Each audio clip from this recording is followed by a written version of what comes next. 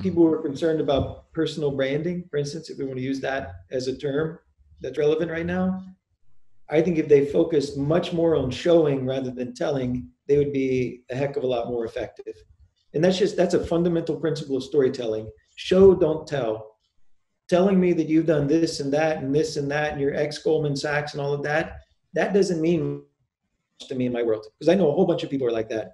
But when you tell me that you went to Haiti and you pulled a kid out from a collapsed bridge, okay, that you climbed through, you know, just barbed wire to go save a kid under a collapsed bridge, and you tell me about what's important to you, brother, then I start to mean it when you show it to me. So I think people with, with the personal branding, just keep illustrating. Don't tell me you're great. Don't tell me what accolades you got. Just show me actually what you do. Okay. And don't tell me what you did in the past. Demonstrate it in real time. Show me right now.